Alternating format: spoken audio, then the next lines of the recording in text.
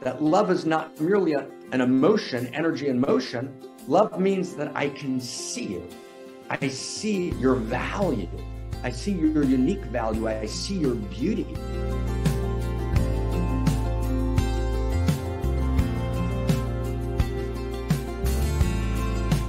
So we're going to turn to David now. David's going to resonate the code, and then we're going to go into week three of Avatar. Okay, we're going to go into week three of Avatar. Here we go. David, welcome everyone. Take us inside. Revolution. So here's our code for today. Evolutionary love is not merely an emotion, it is a perception. The evolutionary lover sees with God's eyes. Because love is a perception at its core, a perception that generates emotion, there's great hope in love. The universe sees, and the universe sees love. The universe feels, and the universe feels love. Seeing generates feeling, and feeling generates seeing. But we must start with perception because perception can be trained through practice. Personal human love is a unique self perception. Personal self love is a perception of one's own unique self. However, one cannot be an evolutionary lover with these forms of perception alone.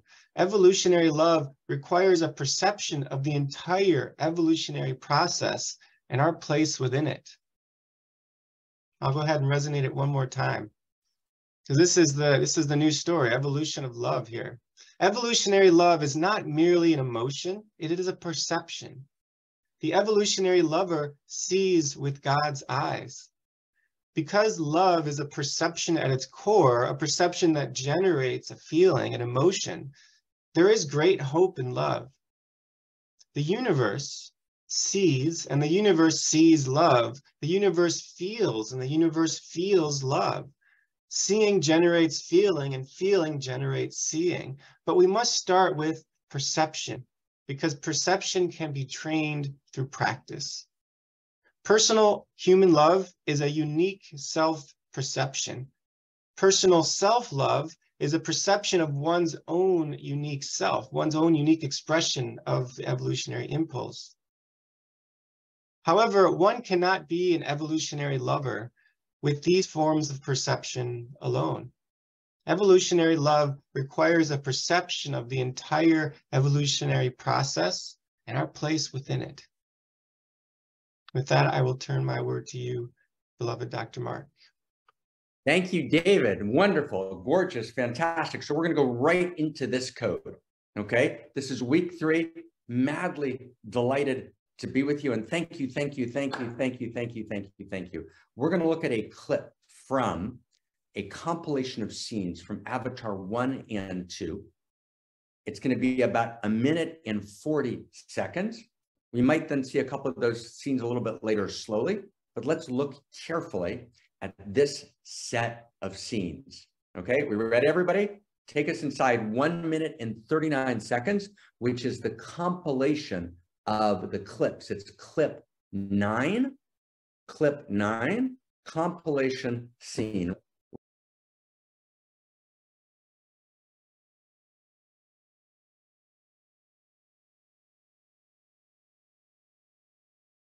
Those are the ICU scenes from Avatar 2.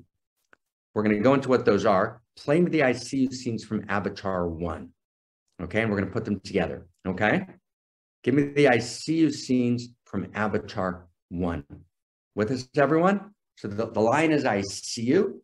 They were hard to see because Avatar 2 is not easily available. So we had to, I don't know where we got it from online, but they're not, they're not good scenes. They're hard to see. So I'm going to explain what they are.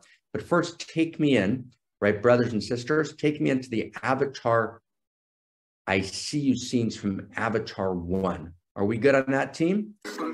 This is a very important. It's good he's back on board, but he thinks I'm a scoundrel. It's not just I'm I'm seeing you in front of me. It's I see into. Okay, that's one. That's the first I see you scene where Norm is explaining to people why I see you is the big line, right, in the Na'vi people. Give me the next clip. Next one. I want all the I see you scenes from Avatar 1. Let's see them together.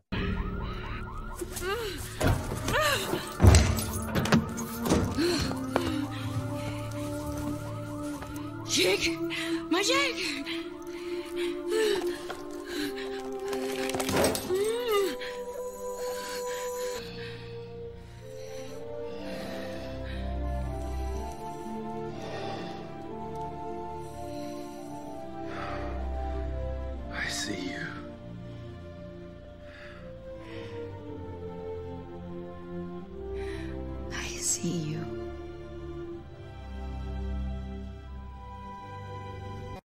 One more scene. One more scene. The third I see you scene when Neytiri speaks to Jake and says, I see you before he speaks to the Navi tribe.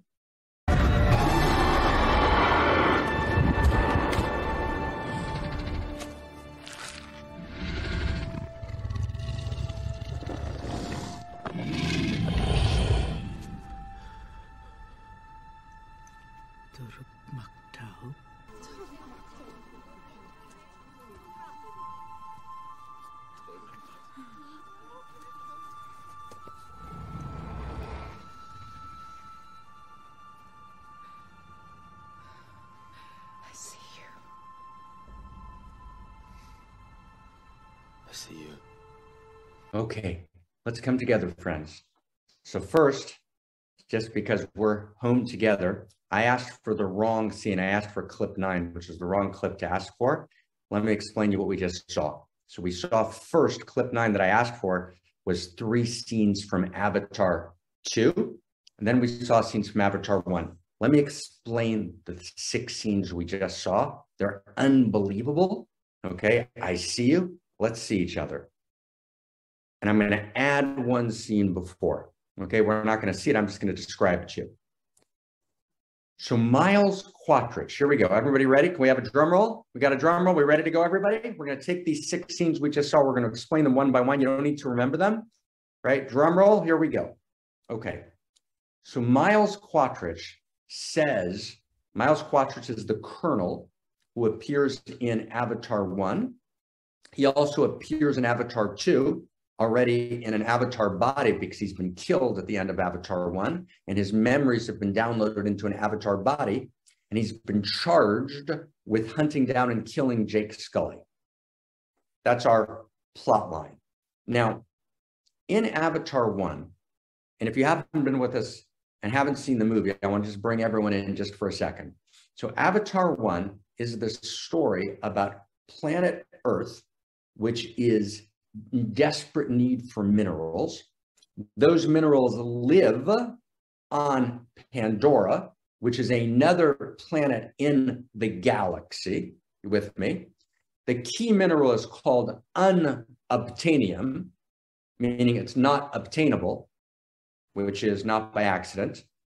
And Earth, which is more powerful technologically, goes to this other planet in the galaxy to extract their minerals essentially against their will. We're going to do one more week of Avatar after this week, and I'm going to show you some of the scenes that they took out of Avatar that were, that were, were made and never used, and kind of how we got to the situation on Pandora.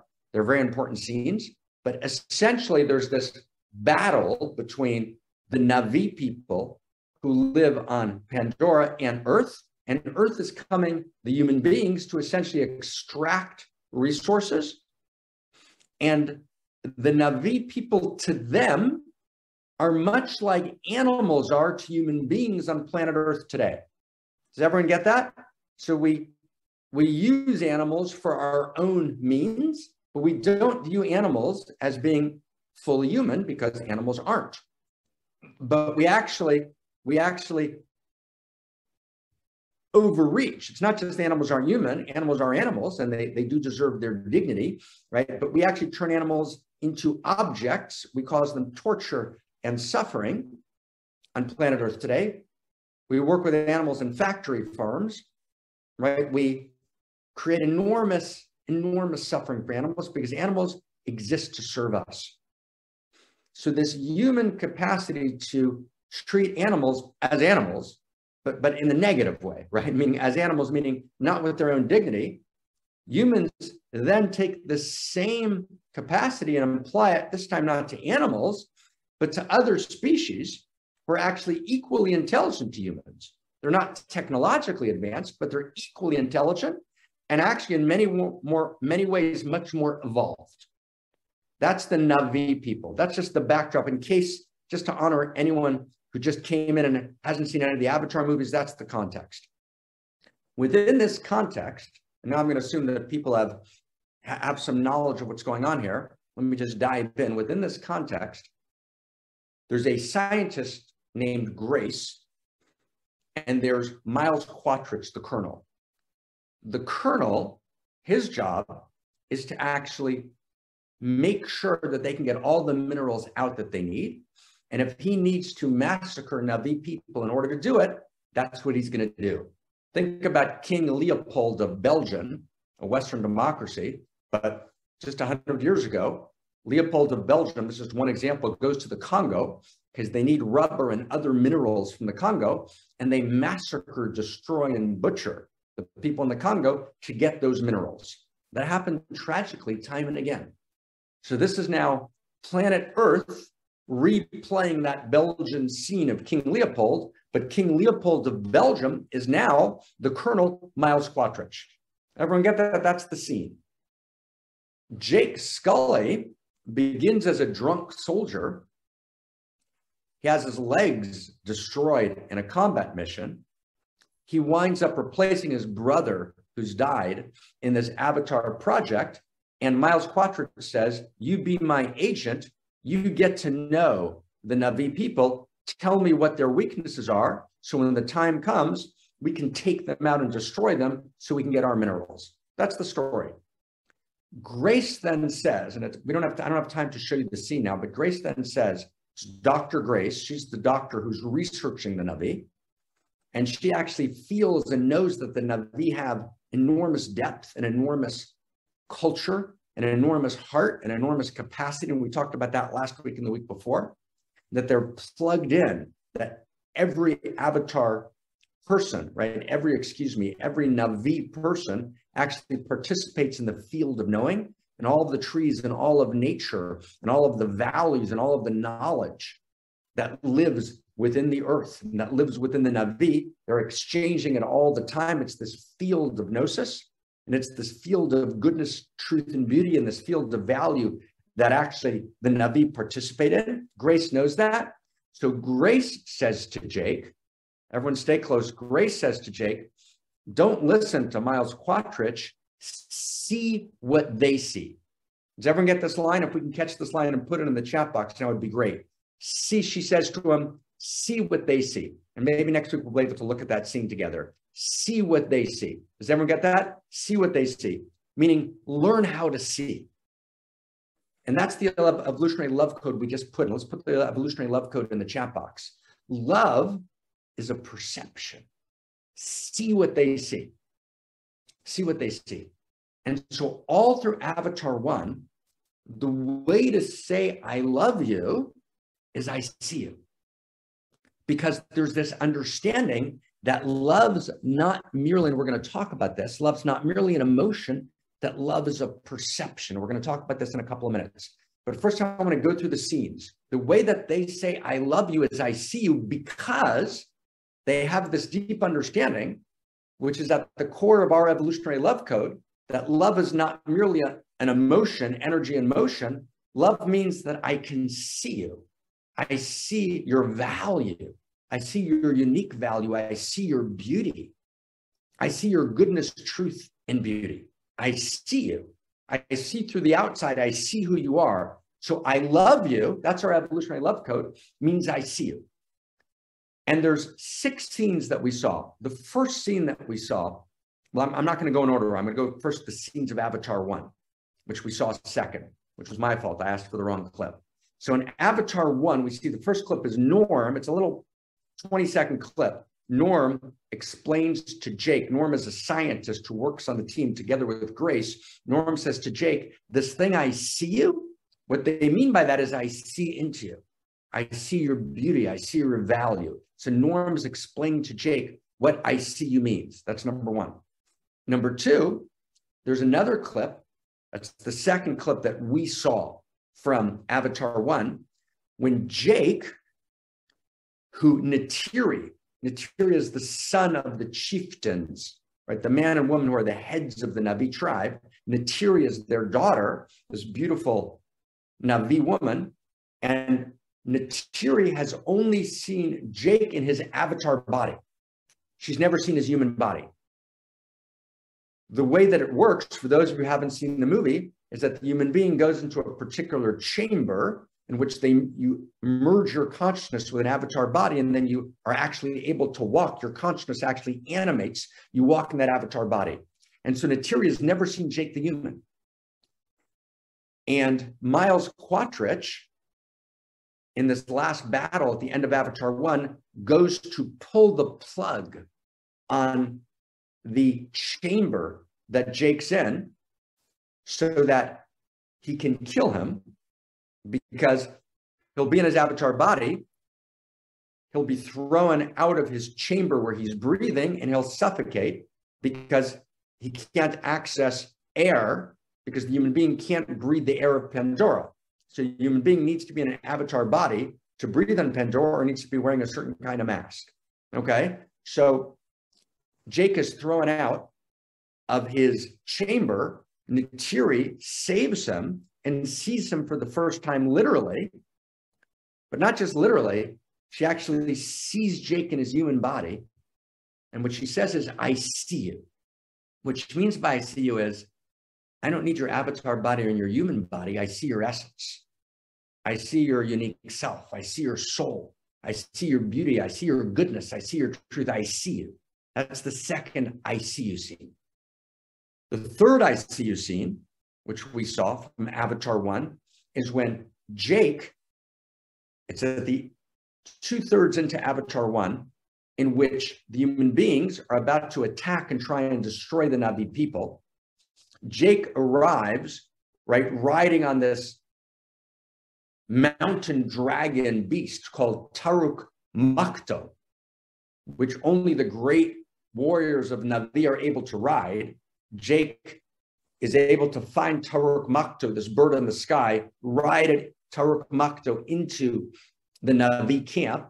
By riding Taruk Makto, they have confidence that he's actually with them. And Neytiri is blown away. She thought that Jake had betrayed her people. She now realizes she didn't see him. And before he's about to give this major speech as a leader to her tribe, Neytiri says to Jake, I see you. And Jake says to Neytiri, I see you. And it means, I love you, but I love you not just as a feeling. I see you. I see who you are. I see who you truly are. Then stay with me. It's very beautiful. This carries through Avatar 2. This carries through Avatar 2, and it's crazy beautiful. So in Avatar 2, there are actually three scenes. I'm just going to do each one in 20 seconds. So Spider in Avatar 2 is the son of Miles Quaritch, who's been killed, the colonel. Spider, his son, is a little baby when Miles is killed. Most of the people from Earth are sent off of Pandora and they're sent back to Earth. But Spider is too young, he's too fragile to make the trip. So he stays in Pandora and he's raised essentially as one of Jake and Neytiri's children. We'll talk about that more next week. But he's completely loyal to the Navi. He gets the Navi ways. At the same time, his biological father is Miles Quaritch, the colonel. Now remember, the colonel's memories have been downloaded into an avatar body after Miles Quaritch is killed and we open up Avatar 2, realizing that Miles Quaritch is now in an Avatar body. And next week, we're going to talk about that. You get how paradoxical that is because Miles Quaritch thinks that the that that the Navi, the Avatar bodies are Navi bodies.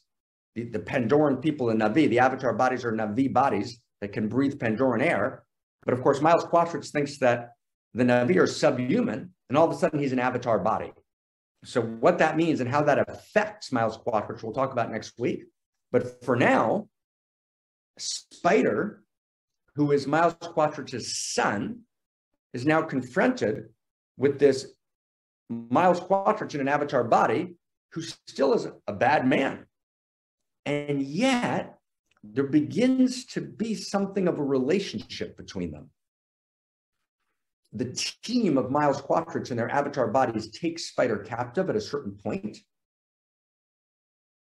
But Miles Quaritch in his avatar body, it's not really Miles Quaritch, it's his memories downloaded in the avatar body, right? Something opens in his heart and he takes Spider with him on their mission.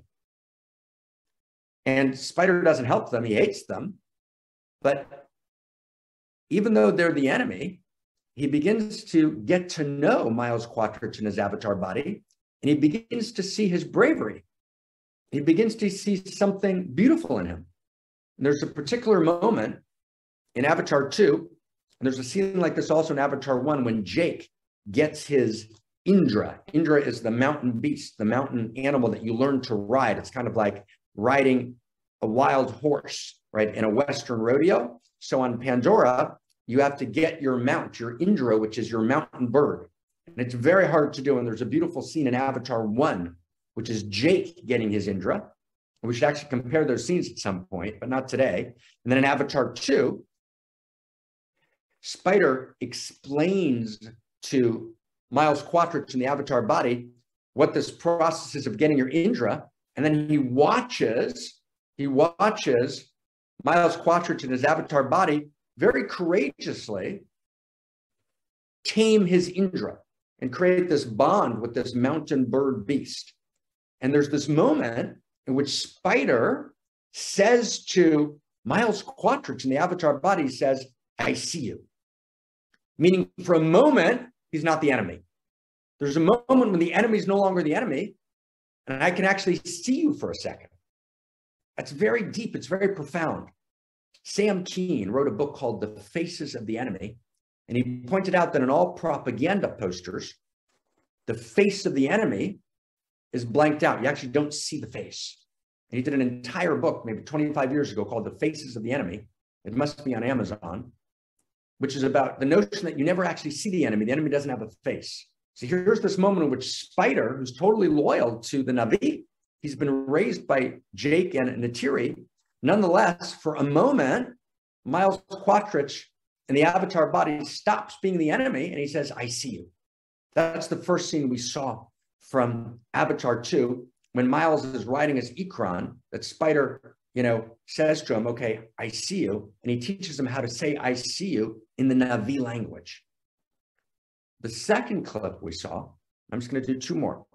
The second clip we saw is when Loak, let me just introduce this character. Loak in Avatar 2 is, anyone in the chat box, Loak in Avatar 2 is Jake and Neytiri's second son.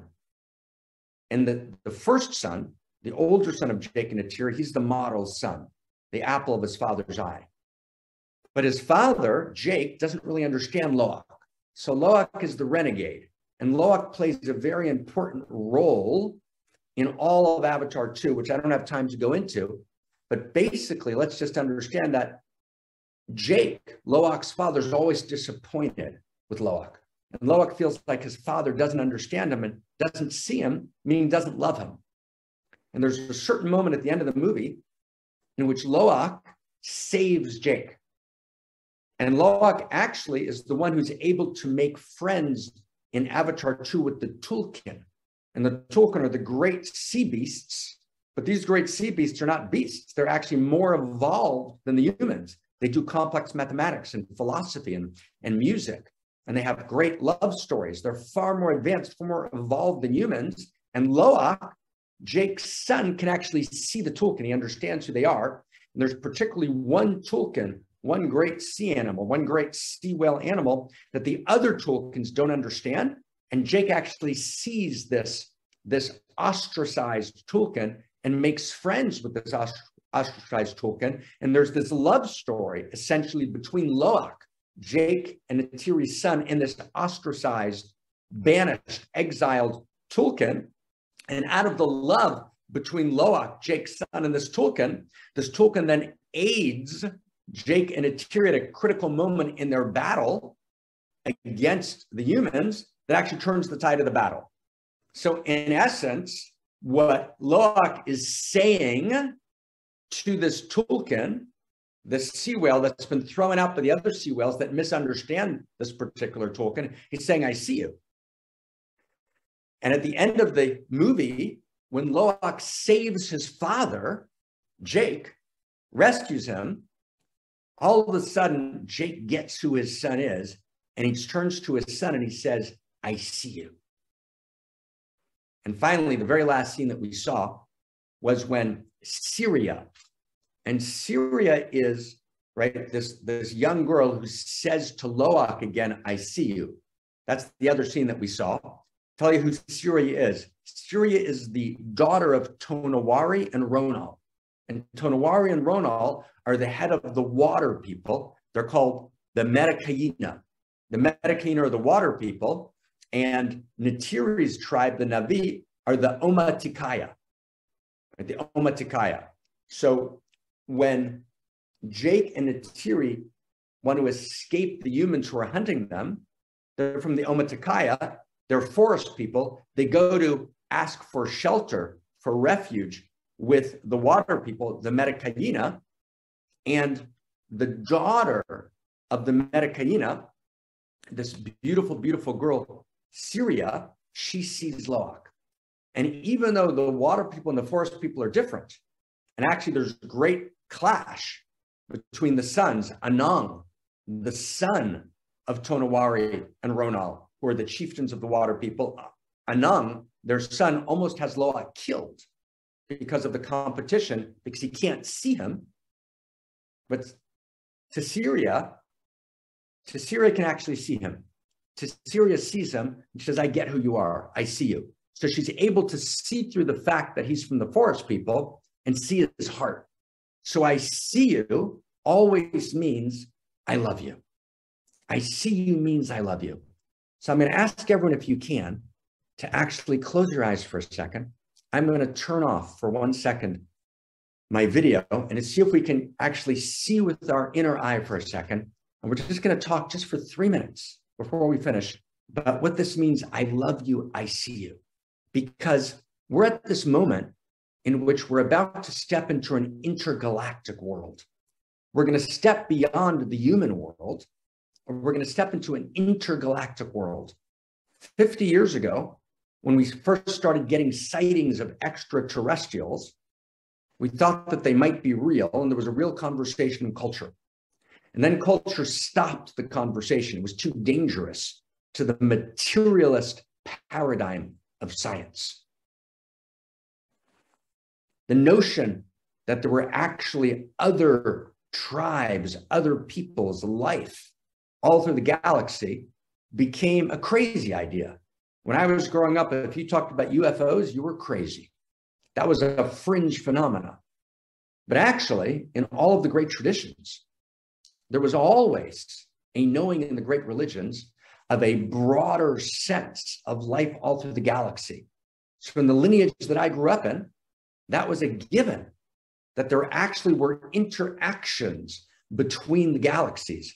And there's actually a text in the book of Genesis which talks about lovemaking between the daughters of men and the sons of gods who fell to the earth.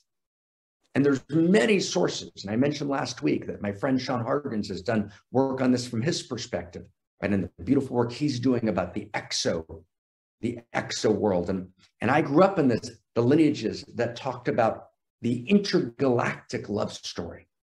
And together with my, my, my beautiful partner, Zach Stein, we're talking about homo amor as an expression, not of a, uni- a universal love story. It's not just the universal love story, it's the cosmos love story, which is why we call the new story of value cosmo-erotic humanism, cosmo-erotic.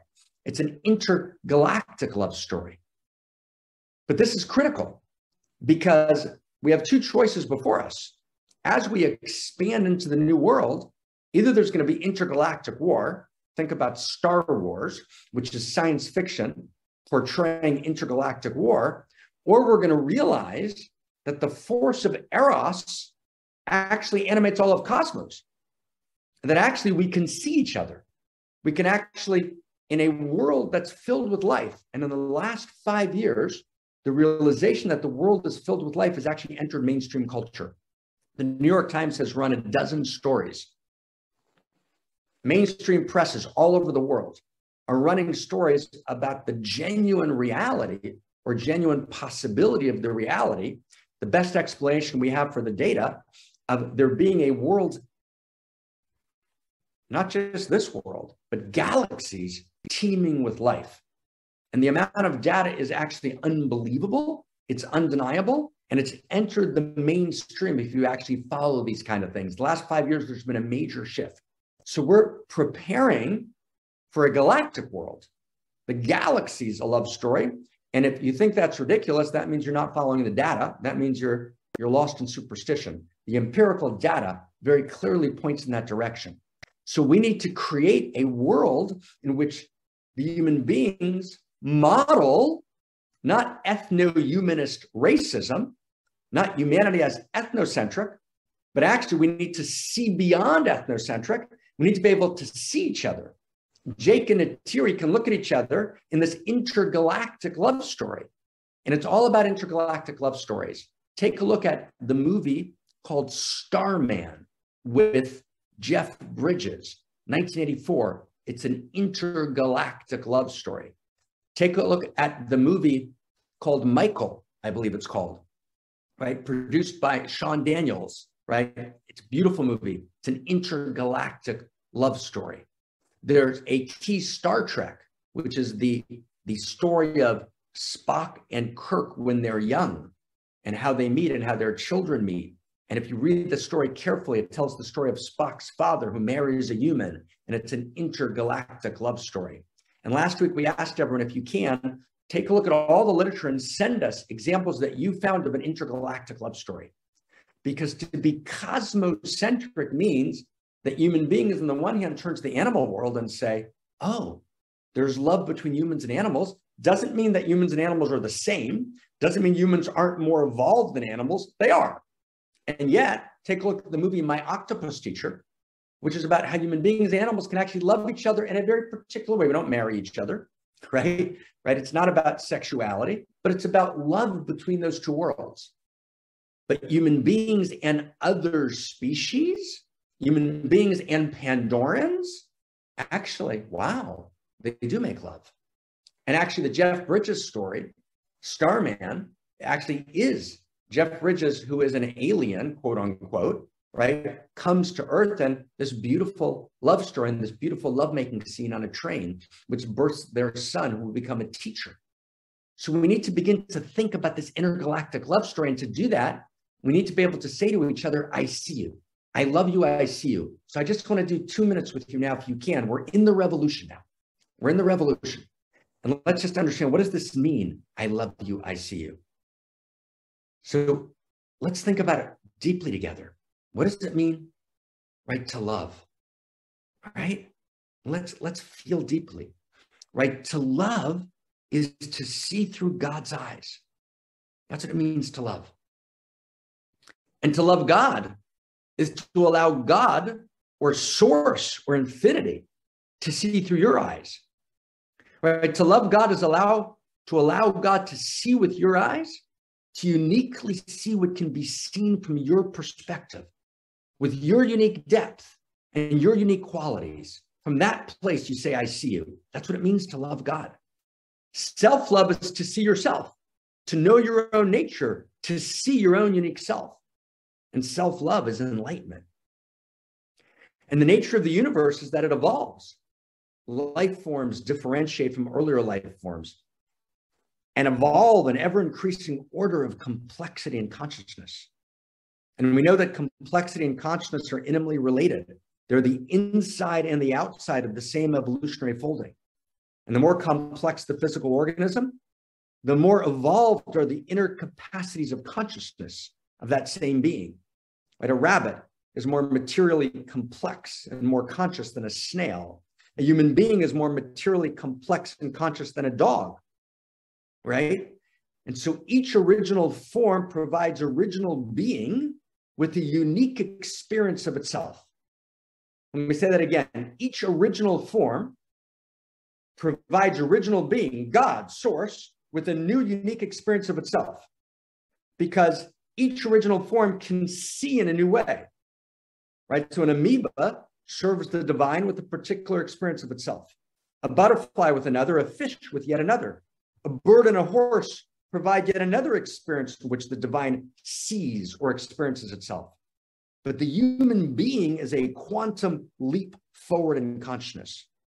The human being, a complete human being, actually is a place in which actually the universe wakes up in this complete human being in this new way. Because when the human being loves, the human being is actually seeing consciously in a new way through God's eyes. That's what it means to love. To be a lover is to see through God's eyes. And when you see through God's eyes, then God can see through you. Wow.